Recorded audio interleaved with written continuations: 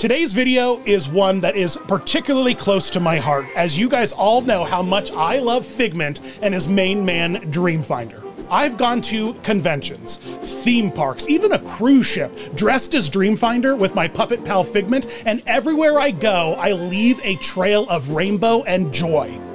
That's because Figment is an iconic character from the Disney parks with a cult-like following. An original character created specifically for the parks, he has lived on to become everything we want Epcot to be. So naturally, people have a very deep connection with him. But does anyone have a solid understanding of who this 123 year old dragon really is? Well, today I'm going to answer that question. I am going to dig deep into the canonical lore of Figment the Dragon and tell you his entire story. I've combed through comic books, theme park lore, ride videos, and the history of Epcot to bring you a complete timeline of my favorite purple imaginary dragon named Figment. Buckle up, folks. You have no idea how much this dragon has done.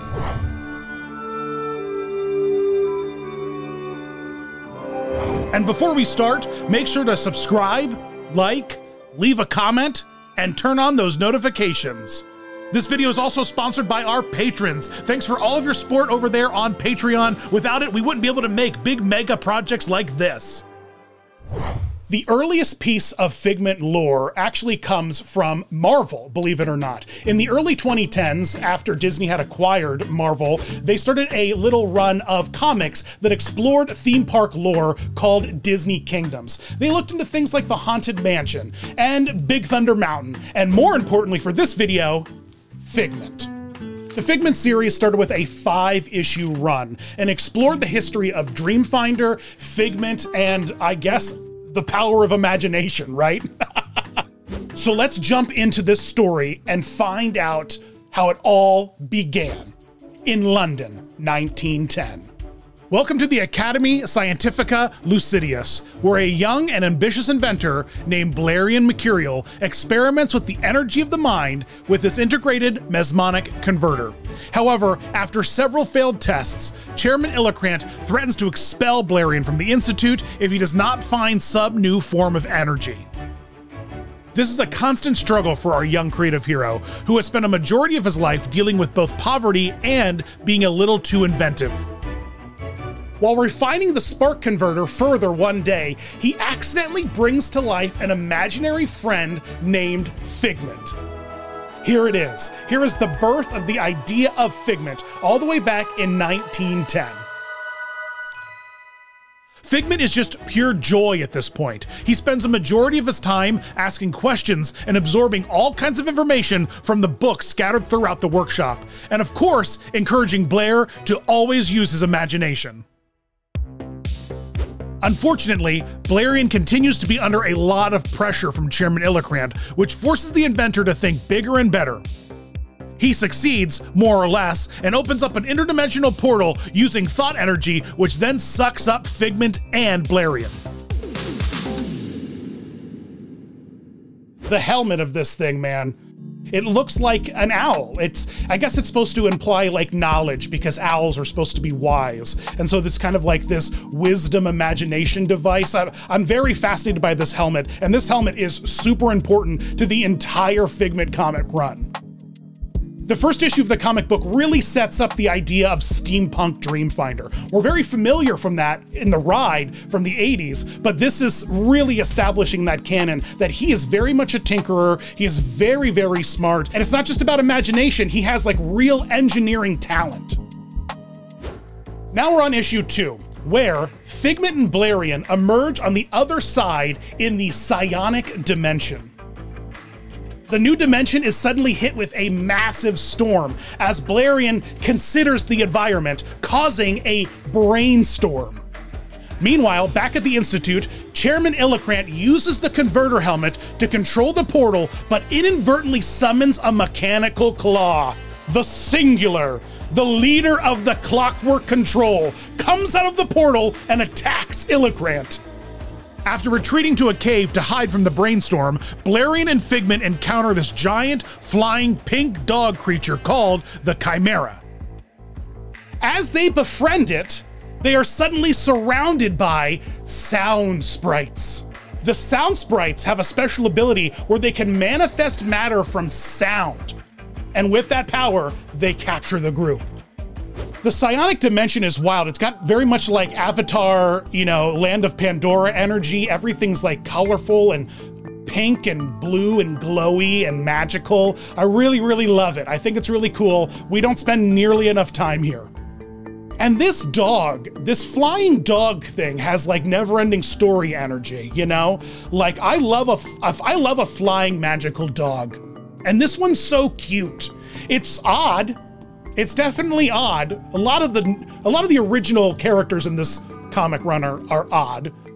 I love some of the artwork though. Like some of the artwork is really fun. You look at the main covers of these comic books and the, and, the, and these like promo arts, and you're just like, oh yeah, absolutely. I don't know what's going on there, but it looks exactly like what Dreamfinder and Figment would be up to. This almost looks like a poster you would see in, in the queue of the original ride.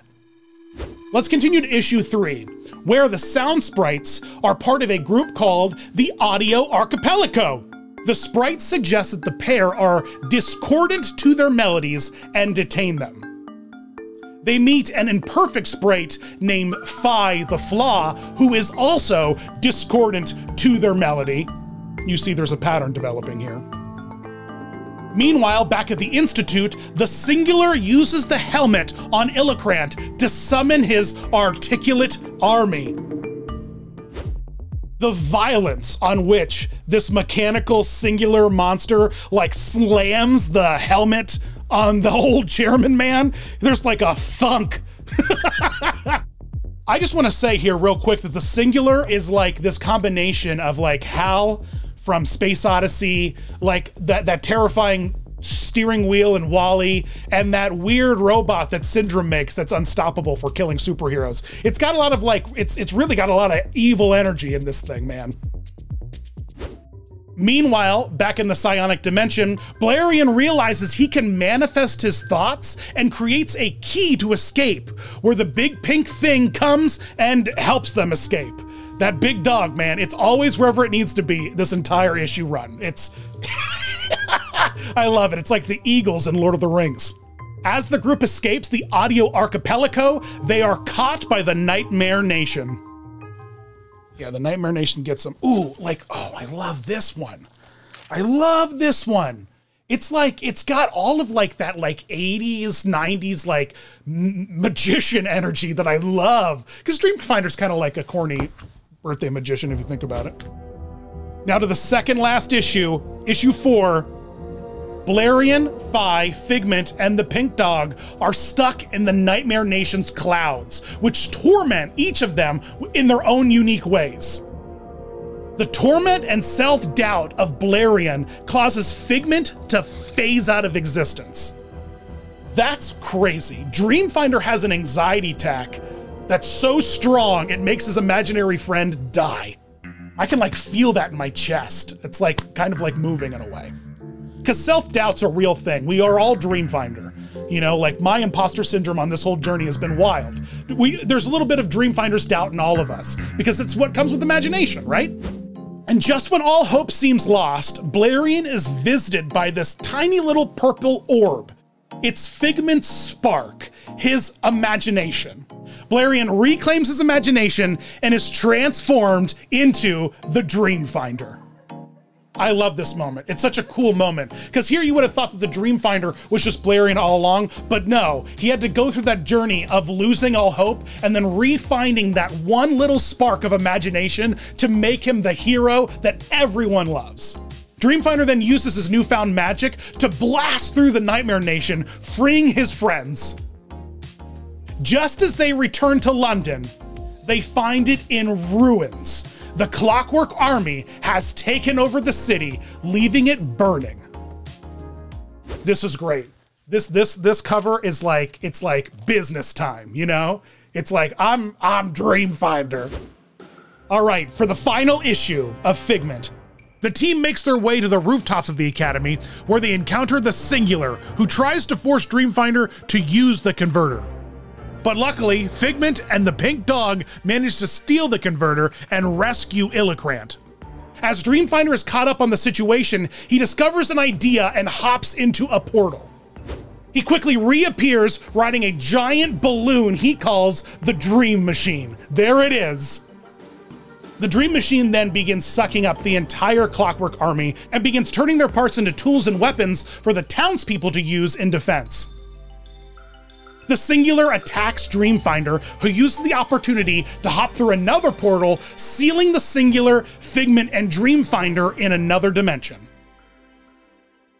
So the story wraps up in a pretty interesting way. Dreamfinder is sucked into, you know, danger portal to save the day, and the chairman, he recognizes Blarion's sacrifice, makes sure Blarion's family is well supported, and the issue ends with Dreamfinder and Figment on the Dream Machine arriving at what looks like the swamps of Florida, as he says, Imagination is our key to unlock the hidden wonders of the world. I had a lot of fun with this first Figment run. It's a little interesting who the audience is specifically. Are they going after kids? Are they going after teens or perhaps an adult comic audience? Uh, the theme parks themselves have a pretty wide, uh, wide spread in terms of who enjoys the parks. But this uh, feels a little dark. It feels a little edgy. But uh, I think it has a pretty general audience. I think a lot of people could read this and have a really great time. And I don't think it steps on any toes at the parks. It gives us a really interesting idea of where Dreamfinder came from, that he is not just a dreamer, but he's also very skilled in uh, in engineering and mechanics and, and, and building things. Very similar to a lot of the scientists we'll later see take hold of Dreamfinder space in the in the parks. He's not just some crazy guy who likes to think about arts and literature, he's a very accomplished scientist. Hey, you've been watching the timeline of Figment. We'll be right back. The Magic Candle Company brings the vacation to you. Head on over to magiccandlecompany.com and use coupon code DisneyDan15 to take 15% off all of your favorite theme park smells. From your rides to your resorts to some of your favorite foods, every one of those theme park smells is there. Magiccandlecompany.com, coupon code DisneyDan15. Here's where things get a little weird as we approach Figment 2, which was released in 2016 as a follow up to the first five issues. Now we have another five issues taking Figment and Dreamfinder on another whole new adventure. Now, the second book picks up exactly where we left off from the first run. Dreamfinder and Figment flying through the air together as a team to a new mysterious place they land at the new Florida campus of Academy Scientifica Lucidius after experiencing some significant engine trouble. Inside the giant academy, they find a huge statue honoring themselves.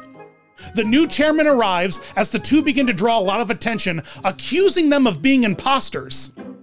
Luckily, an elderly Phi, the sound sprite, arrives to verify that it is indeed Dreamfinder and Figment.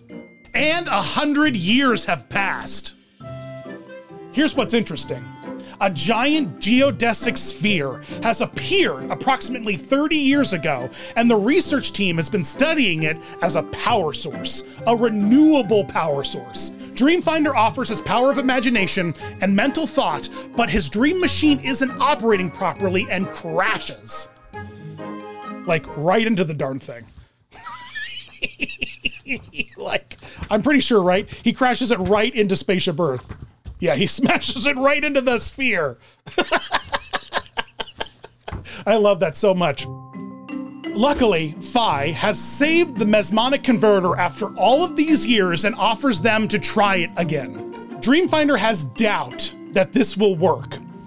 He doubts that he'll be able to fit into this modern society, and here is where we see the shadow of doubt behind Dreamfinder. In issue 2, Dreamfinder continues to fall into despair on staying a relevant and accomplished inventor. He is standoffish towards Figment's optimism, which is uh, not a good sign. Red flags, Dreamfinder. Phi takes Dreamfinder and Figment to the auditorium where they are to demonstrate the Mesmonic converter. The Mesmonic Converter fails to work, and Dreamfinder continues to slip into doubt. Trying a second time, the geodesic sphere suddenly vanishes in a blast of green light. Spaceship Earth be doing that sometimes. it almost disappeared for three years for renovations that never happened. God bless. As Dreamfinder is blamed for the missing power source, his doubt overwhelms him and bursts from his chest. Doubt then attacks Figment, Phi, the staff, completely taking over Dreamfinder and turning him into the Doubtfinder. Figment barely escapes the Academy, flying quickly up and out into the Florida sky. At the Academy, Doubtfinder has possessed every member. Meanwhile, as a prologue to each one of these issues in Figment 2, we're introduced to this young child character who's very handy, has an imaginary friend she calls Spark, and uh, sort of reminds us of a certain iconic character, but we can't quite put our finger on it. She lives in a beach town in Florida, of all places, and uh, we kind of establish that she's, you know, the black sheep of the family with her with her crazy inventive thinking. Issue 3 of the comic begins with Figment lost in the swamps of Florida looking for some sort of hope when he comes upon the small town of Cocoa. There he finds a bright light of imagination in the top floor of a residential house. He's just cruising through the neighborhood and finds a lighthouse of imagination. Inside, Figment meets a young genius inventor named Capri. She has a huge imagination and is quite the tinkerer. She has applied to go to the academy, but has been rejected over and over, even though she herself is the great, great, great grandniece of the Dreamfinder himself. Remember that family in the first run that was poor and needed help? Well, looks like they were taken care of very well by Chairman because they uh, retired in Florida. There in her bedroom, her imagining up great big things is what drew Figment towards her. Figment and Capri join forces after she learns what is going on and claims that it is her destiny to save Dreamfinder. They head out into the night together on a bike, traveling back to the academy, making a plan to steal back the Mesmonic converter.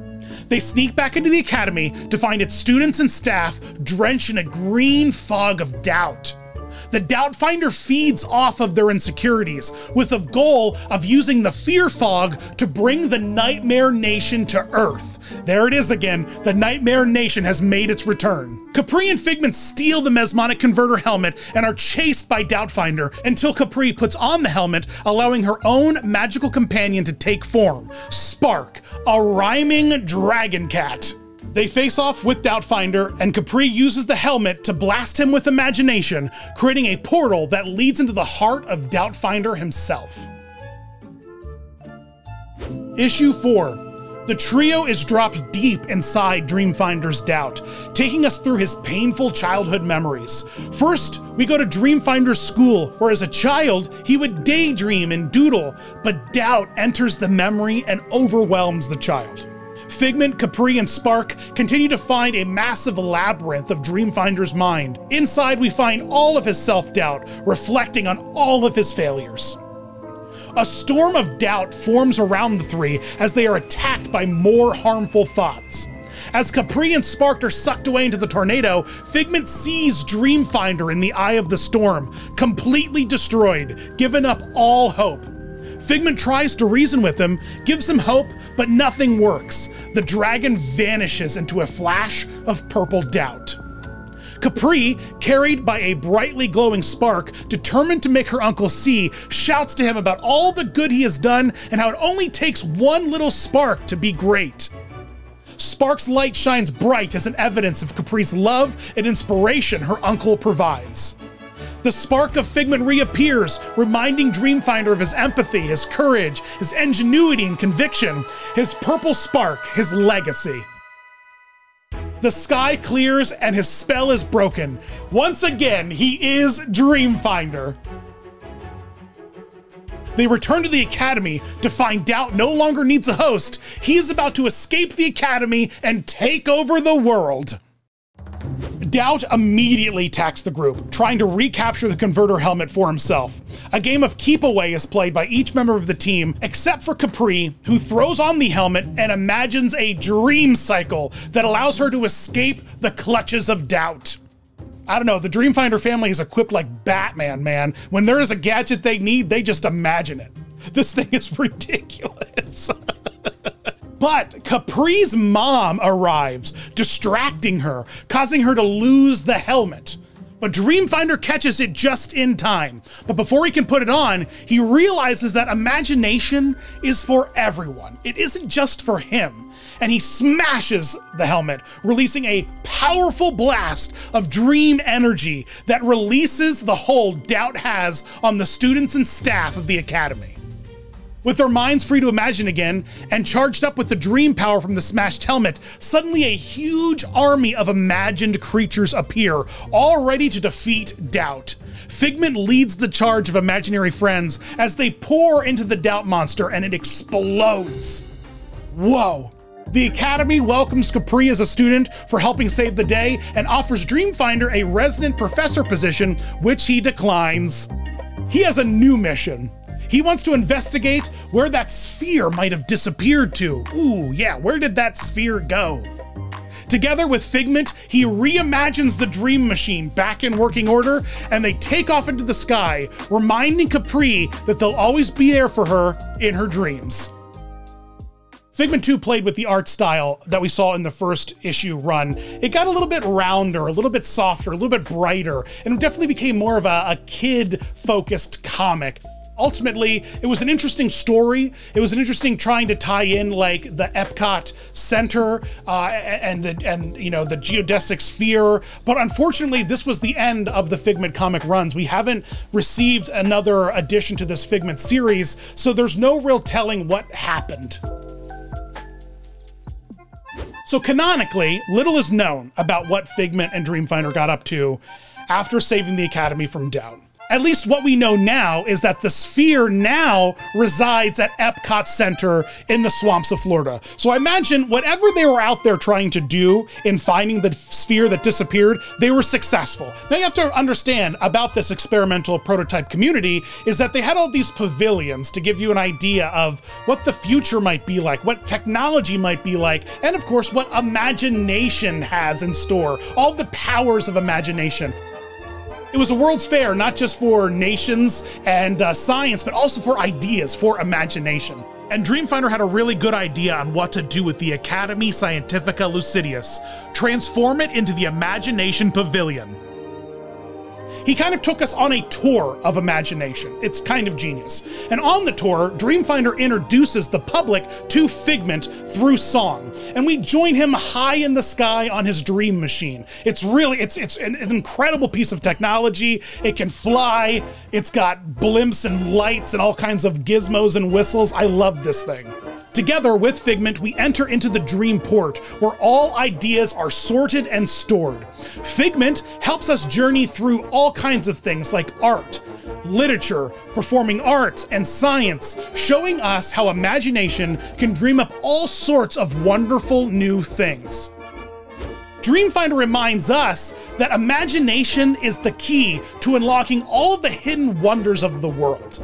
We see him sitting behind a film camera as Figment and seen in multiple clips of all sorts of professions. I love this ride. It's a very contained bit of Figment experience, and it's more so just Dreamfinder and Figment meeting the public because up until this point, they've been doing nothing but adventuring, and now they're kind of like, you know, taking residency inside of the Imagination Pavilion to really introduce and educate everyone about just what imagination can do.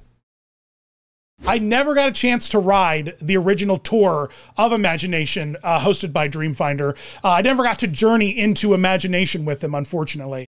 Yeah, the ride was long closed by the time I was really, you know, into Epcot.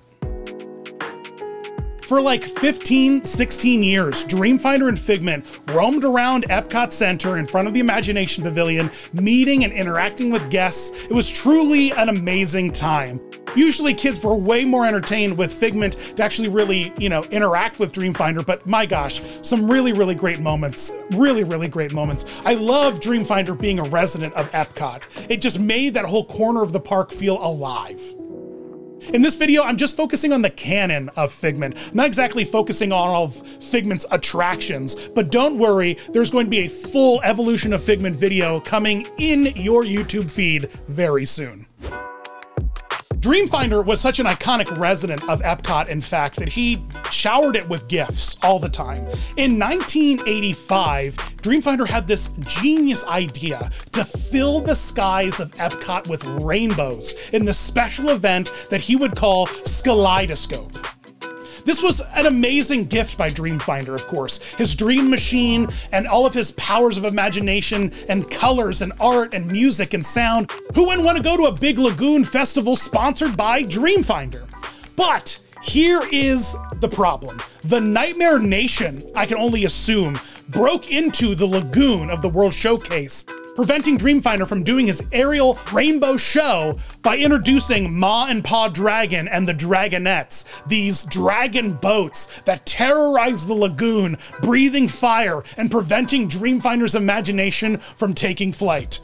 This was a wild event, guys. This it was so popular. It was just supposed to happen on the weekends, and before they knew it, they were doing it daily for like 2 years. People loved this thing. Unfortunately, Dreamfinder didn't eventually make an appearance in the show itself except just voiceover and premise because his giant blimp that they were constructing for him could not tolerate the winds of Epcot, could not tolerate the whims of Florida. So if they were trying to try to fly the blimp over Epcot, it would just veer off course most of the time. And so it just wasn't a, a, a viable thing.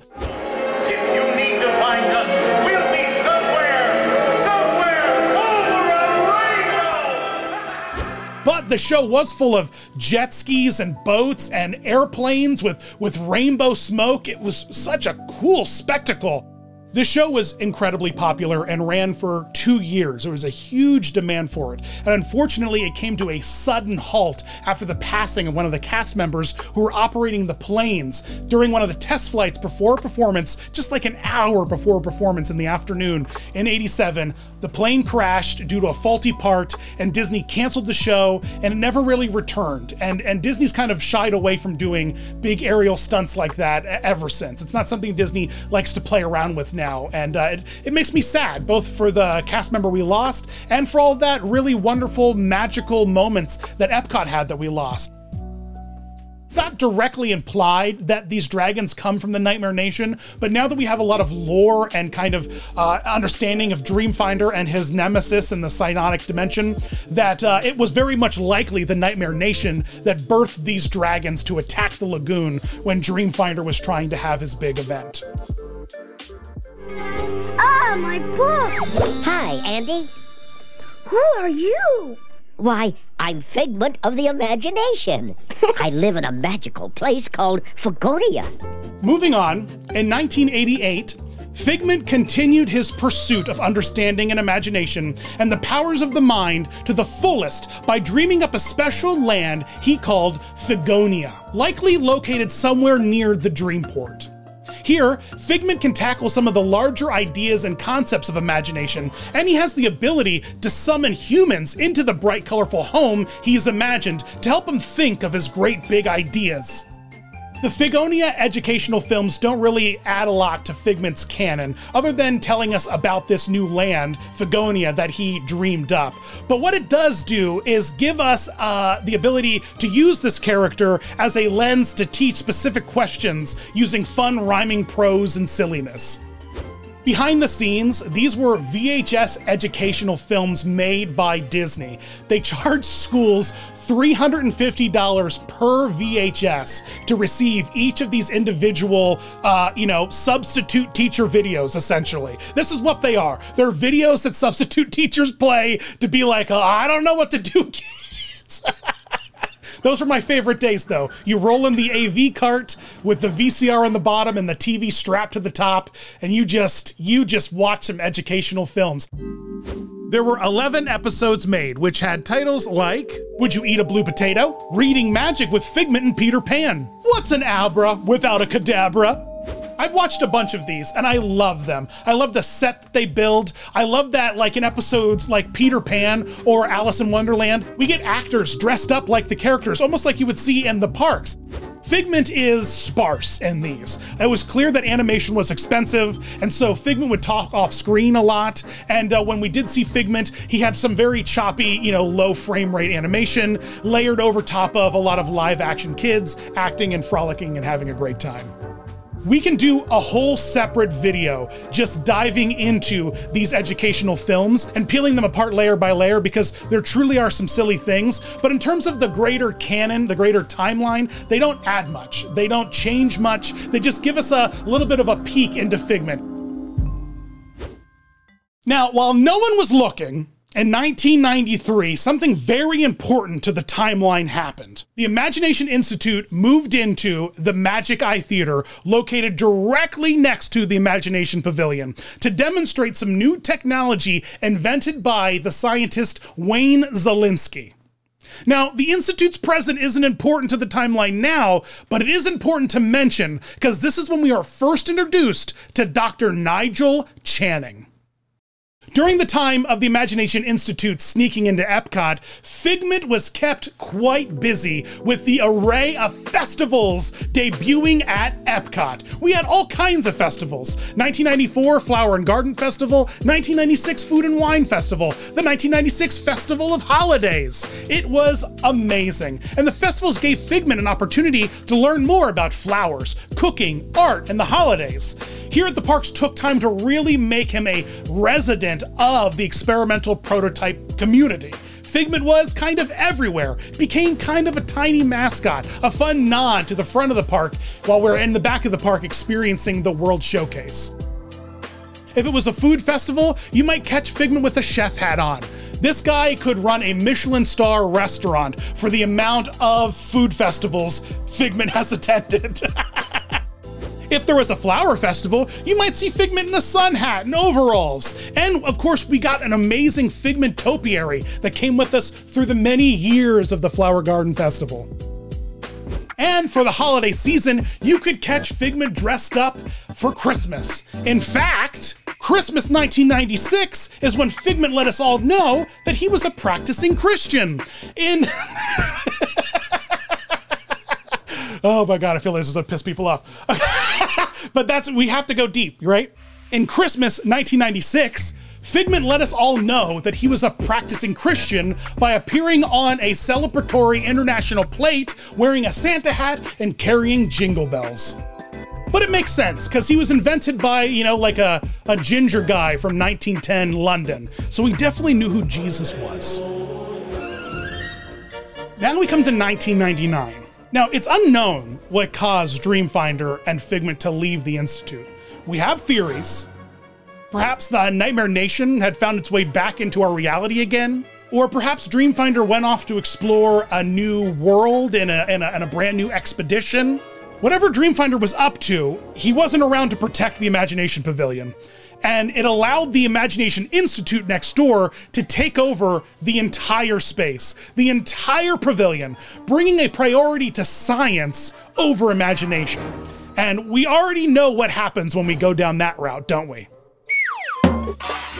The entire Dreamfinder tour that he carefully crafted to take us through the entire uh, journey into imagination was gutted, removed, and replaced with an extension of the Institute next door focused on experiments conducted on imagination.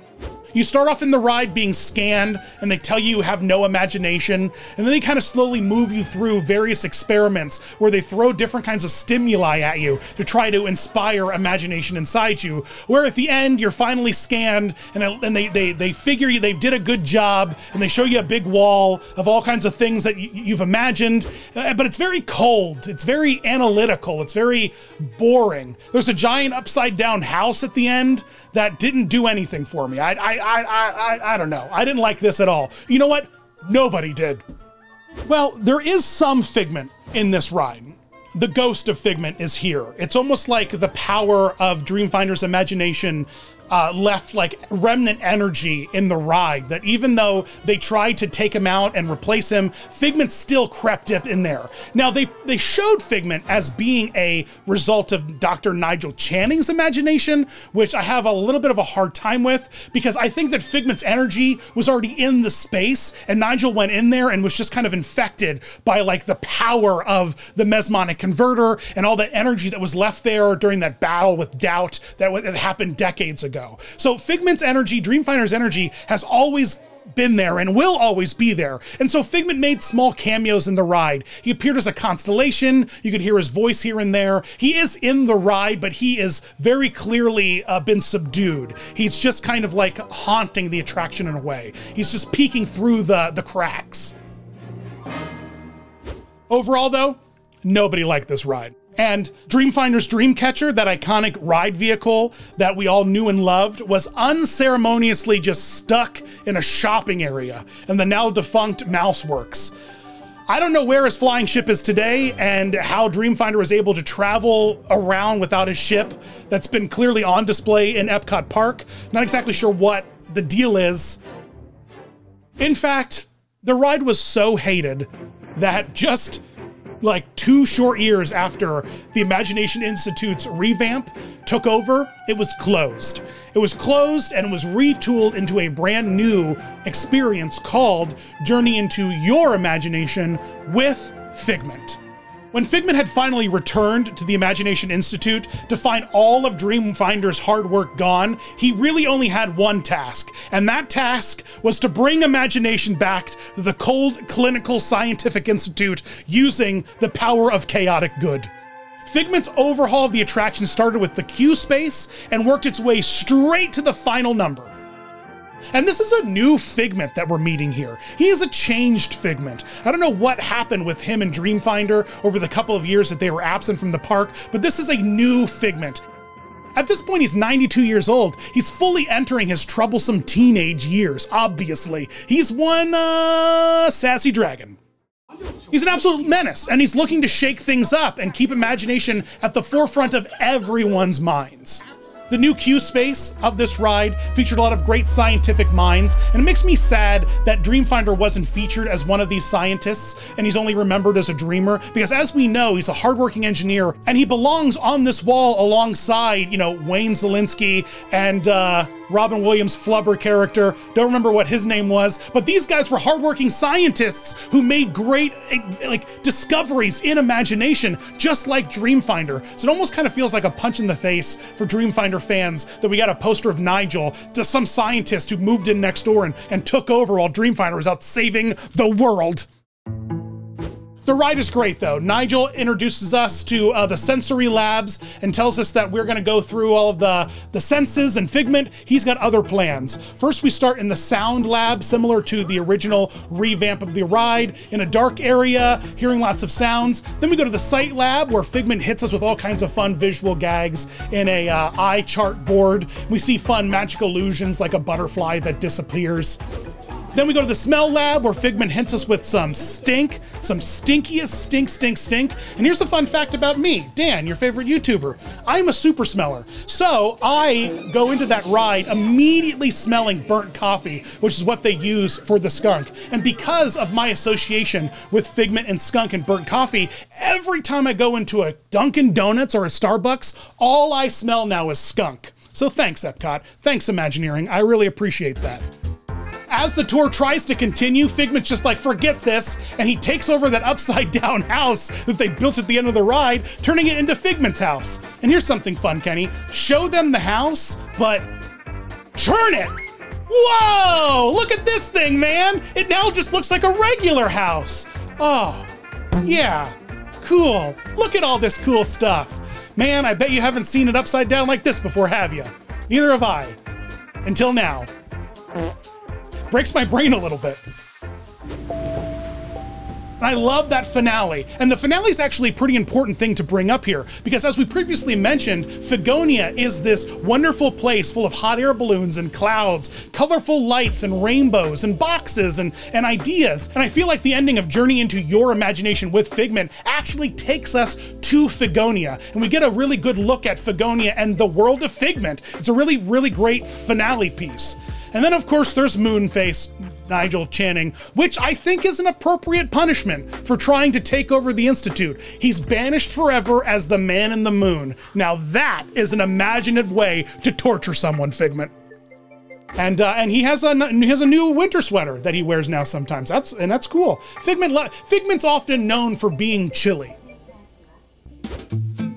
Now that we're in 2002 and Figment's back in his attraction at the Imagination Pavilion, Epcot kind of got wise to Figment being a integral, loved part of the community, and they leaned very heavily into that, starting with a pin celebration, the Search for Imagination in 2002. It was a little series of pins, and they had hats, t-shirts, uh, all, all kinds of fun imagery featuring Figment in this community-wide event throughout the entire park that had Figment going around searching for imagination, and interacting with your favorite Disney characters. I kind of love this. We're really starting to understand that um, the marketing for this park can be fun, can be colorful, can be cool.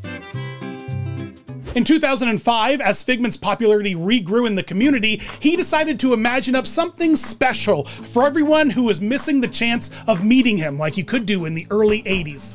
Figment's Place was a special little spot that they built in ImageWorks to debut a brand new meet and greet that Figment imagined up as this larger than life mascot to hang out with all of his fans. And that makes sense, of course, because Figment's lived a long time down there in all of the uh, open communities uh, where there are lots of mascotted characters parading around. So if Figment wanted to become an interactable character out on the streets of the parks, it only makes sense that he would imagine himself as this large larger than life dragon that could just run all over the place and interact with things. And I uh, honestly, I love them. I love this chunky, chunky, thickness thick Figment. It's so cute. And I'm going to consider Figment's place, the area that you could meet him, as an annex of Figonia. Kind of like an add on to that cloudy, dreamlike land that we saw at the end of the attraction and where he spends a lot of his time uh, investigating the ideas of literature and art. Figonia is a special place, and this feels like he just kind of summoned a little bit of it and brought it to us in ImageWorks for us to explore and hang out in. I love that. Thanks, Figment. Figment sort of took center place for the Arts Festival's promotional material and inspiration. Remember, all the way back to the original Epcot attraction, art was a huge part of imagination. We had a huge segment of the original Dreamfinder tour that explored art and colors and how we use them in art. And so, of course, Figment would make the perfect spokesperson for a whole festival dedicated to art. And there was everything for this guy there. They had giant wall paintings where you could make a massive Figment mural. We could search the World Showcase for tons of classical portraits that Figment had imagined himself into, and of course, you could grab one of dozens, and I mean dozens of pieces of merchandise that feature Figment alongside any of the many festival logos. I sometimes think, when I can't sleep at night, how Figment would feel knowing that lines of people waited at a grilled cheese stand to get his popcorn bucket. Almost brings a tear to my eye. I'm sure he would love it. This thing, the pinnacle of Figment merch. Actually, that's not true. I'm currently on the hunt for a Figment Big Fig. I found one online for like $3,000 and that's not happening. So if you have any cool Figment merchandise, reach out to me because I think we might do a whole Figment merch episode and uh, if you just got Figment stuff laying around that you don't want anymore, mail it to me. I'll get you a P.O. box right here. It's sort of fun, actually, going back all the old festivals, looking at all the old merchandise, checking out all the fun things they did with Figment, all the cute pins, all the Christmas ornaments, all the shirts and postcards and, and prints and promotional material. Figment is super, super cute, and uh, it's interesting that the management of this uh, community of tomorrow has managed to keep interest for Figment rolling for like over a, a, a decade, despite the fact that his attraction is no longer beloved. let's just take a quick minute and go back to Dreamfinder and how he's been missing now for decades. There is one prevailing theory on where Dreamfinder is, and it comes from the most unlikely of places. Going down to South Park. going Midway through Comedy Central's South Park Season 11 in 2007, there was a three part miniseries event called Imagination Land. And at the center of it all was this Dreamfinder character on his giant Dreamfinder balloon. And I kind of like this, even though it was in the imagination of uh, two creators who are in no way, shape, or form affiliated with Disney in any way, shape, or form. Imagination. Imagination. Imagination. Are you gonna take us somewhere or not? The idea of Dreamfinder living on in the imagination of others and taking uh, hold of this entire imagination space called Imagination Land is something that really warms my heart. It's not official, but I really like this theory that Dreamfinder has just kind of retired off and is now just at the Dream Park permanently, taking care of everything that is imagined, chronicling it, inventorying it, and caring for it and loving it. Now, there have been sightings of Dreamfinder. I've heard tell that he appeared once mysteriously at a D23 event, only to vanish shortly thereafter and never be seen again. Uh, he's kind of mysterious. Dreamfinder's sort of like Disney Park Sasquatch, you know, like he's uh, he's aloof, and uh, if you see him now, he doesn't really, you know, look right. It's always grainy photo, or just looks like a YouTuber dressed in some odd cosplay. Now, Figment's busy. Figment's been very busy outside of just his known lore in the theme parks. In fact, he's popped up in several places that have been completely unexpected. First and foremost, in Pixar's Inside Out film, we find in her imagination land a portrait of Figment, which I think is very interesting because I believe this implies that Riley, the character, has either been to Epcot and has experienced the entire Figment attraction, or more importantly and more significantly, every child's imagination is somehow combined and interlocked in some mysterious different dimension that is imagination land that connects us all, and Figment is somehow its ruler. And when we grow up, we demolish it in our souls and make way for things like cooking recipes and you know, when to take your car in to get its oil changed. Just sad things. Another appearance of Figment that I'm particularly fond of is in Toy Story 4. There's a fun arcade called the Dragon Zone, which I love this implication because it means that in this universe, Figment had infected the imagination of at least one arcade owner to the point that he themed an entire arcade off of Figment. I think that's so great. I love that Figment's the star of his own arcade. Because if I had to put money on it, I bet Figment loves an arcade. Oddly enough, uh, on the Beast's castle, Figment is featured prominently as one of the gargoyles on the castle. Perhaps one of my favorite Figment Easter eggs, though, is his appearance at the Collector's Fortress in Guardians of the Galaxy Mission Breakout. In, of course, his collection of everything that the Collector collects, there are lots of different uh, boxes in the queue, and one of the queue boxes in particular features a tiny little purple dragon behind some frosted glass. So I don't know if this is specifically Figment, although it looks very, very much like him, and uh, I don't know how Figment got himself into this predicament and how he found himself so far off in space, but here he is, locked up in one of the collector's collections. I don't know what, maybe the collector went to Epcot and it was just like, I need one of those. And Dreamfinder's like, here, take one. They keep popping out of my machines. I'm not exactly sure, but uh, I like this little moment. And that brings us to some exciting Figment announcements. In fact, I was part of the exciting Figment announcements, if you don't recall anyone watching the D23 live stream at the beginning of the Figment segment was greeted with my face. Truly, I like I I cried. I like had like I got like very moved. It was wild. But at that D23 announcement, we got some really really big news. Two big things. Figment's place is returning in some capacity. A Figment meet and greet is coming back to Epcot sometime in the year 2023. Not exactly sure what that's going to look like or how that's going to uh, uh, appear, what the space is going to be, what the costume is going to be like, if it even is a costume. Perhaps it might be a puppet, a small puppet of Figment. I'm not exactly sure what Figment's imagination is going to dream up for this opportunity to meet him, but I'm really looking forward to that. And more importantly, there's a Figment movie coming out. Now, what will this Figment movie be? I just took you through the entire canon of Figment. Every instance he's been dreamed up, thought up, and used by the Disney company to tell stories. And I don't know how we can have a movie about Figment without Dreamfinder. Will this retcon my entire video, or will the movie build upon the existing story that we have in the comics and in the rides?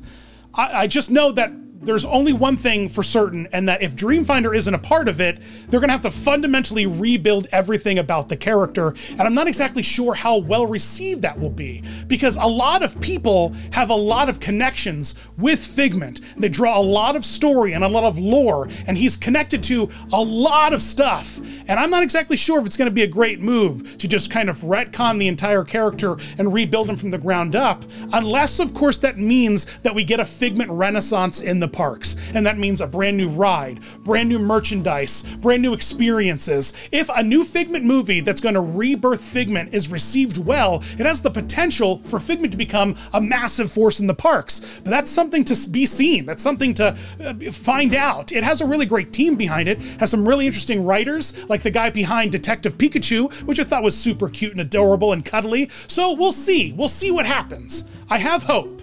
I don't have doubt. I'm not the doubt finder, I'm the dream finder, and I am certain that Figment's legacy is going to live on and on and on. And while I'm not exactly sure where the dream finder may return, if ever, I know for certain that we have the most amazing purple dragon to give us one little spark of inspiration every time we need it. So that's it. That's the complete canonical history of Figment. Uh, there were a couple of holes there, here and there, that I had to, you know, plug up with some of my own theories, and I might have missed one or two little microscopic Figment appearances, but overall, his canon, his timeline has been this. Born in 1910, he's over 120 years old now. He has journeyed across multiple dimensions to make his way to, of all places, a swamp in Florida to entertain you. What would be your imaginary friend if you had to imagine up a figment? If you got to put on the mesmonic converter and dream up everything that you could possibly dream, what sort of imaginary companion would pop up next to you? Let me know in the comments. Let me know all of your favorite Figment facts and stories, and when you've met Figment and Dreamfinder, your favorite times on the rides, what version of the ride has been your favorite. Tell me all of your Figment stories. And of course, you can find me across all of the holy social media channels, including Instagram, Patreon, TikTok, Facebook, Twitter, and of course, don't forget our super fun vlog, Please Stop Vlogging, where Kenny and I take to the streets and have all kinds of wacky adventures.